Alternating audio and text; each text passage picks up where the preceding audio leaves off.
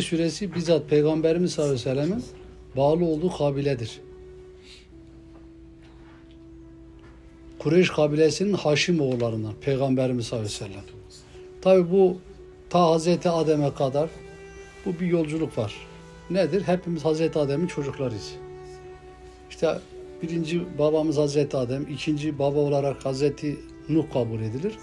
Ondan sonraki süreç olarak da e, inanç boyutunda tüm Hristiyanların, Yahudilerin, Müslümanların ortak atası kabul edilen, baba olarak kabul eden Hazreti İbrahim var. Bu Kureyş suresi geçen hafta işlediğimiz Fil suresinin bir nevi devamı gibi. Zaten manası da ona çok yakın. Fil suresinde ne yapmıştı Allahu Teala?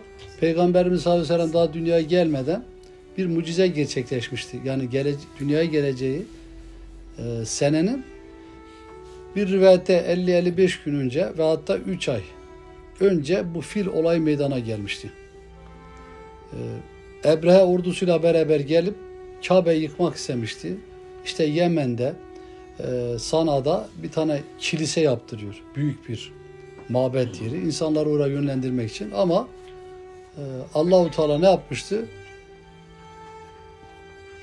Mekke'yi ve Kabe'yi güvenli belde kıldığını Ebrehe'nin getirdiği ordulara haddini bildirerek ne yaptı? Göstermiş oldu.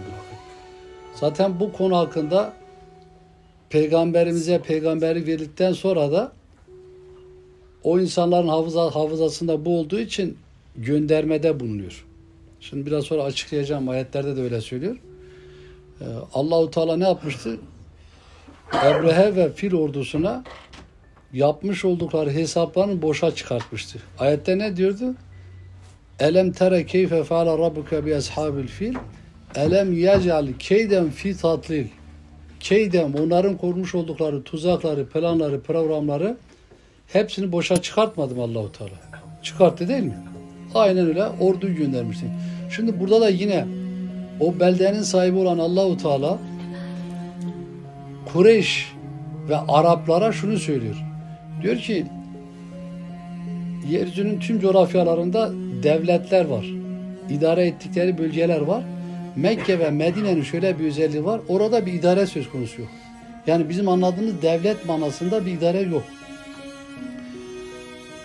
Orada birkaç tane lider pozisyonda olan insanlar toplu halde idare ediyor. Yani mesela bir Türkiye devleti dediğin zaman Cumhuriyeti bir devlet aklına gelir. Ve hatta işte Osmanlı zaman bir imparatorluk gelir. Ve hatta işte Osmanlı zaman bir imparatorluk aklına geliyor. O dönemde de işte Sasaniler var, Bizanslar var, Romalılar var vesaire var. Habeşler var tamam mı? Fakat Mekke ve Medine'de böyle bir devlet yok.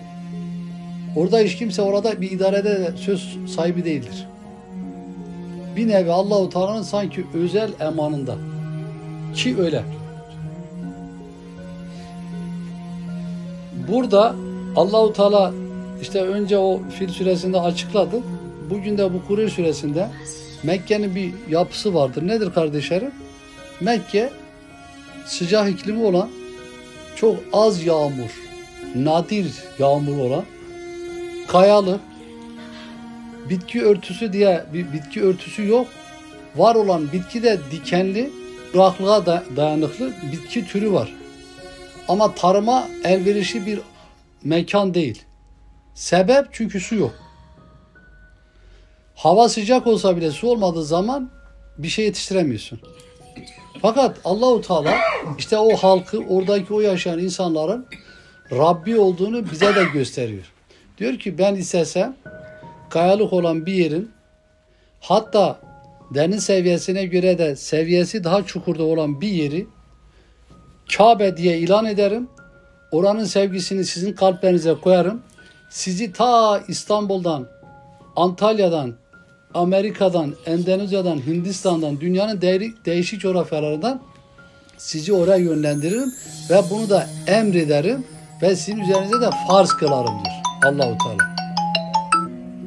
Ne yapıyor kardeşlerim? Yaptığı da aynı şekilde böyle değil midir? Söylediğim gibi. Gidiyorsun ve bu çölün ortasında kayalık mekanlara sahip olan bir toprağı insanların da sahipsiz bırakmadığını, sahibinin olduğunu kendisini bize anlatıyor. Nasıl ortaya koyuyor? Çünkü orada insanlar yemeğe, içmeye ihtiyaçları vardır. Gıdaya ihtiyaçları vardır. Tarlaları yok ki ekmek yapsınlar. Bahçeleri yok ki meyve ve sebze üretsinler. Ağaçları yok ki meyve toplasınlar değil mi? Buna istinaden Kabe'yi oranın adeta Mekke'nin göbeğine yerleştiriyor. Ticaret kervanlarıyla orayı hareketli bir bölge haline dönüştürüyor. Gelen hacılar vasıtasıyla oranın aktif bir rol almasını sağlıyor ve bunun üzerine de ne yapıyor? O kullarına sahip çıkıyor. Ve orada da diyor işte ayette diyor ki Estağfirullah li ilafi Kureyş ilafim rihlete şita ve sayf. Önce Mekke zalimlerin zulmünden koruyan Allah Kureyşlere peygamberimize savaş açan kendi ırkından kendi kanında olan insanlara bak diyor ki öncesini hatırlayın ve şimdi hatırlayın. Bak sizleri yazın bak yazın nereye?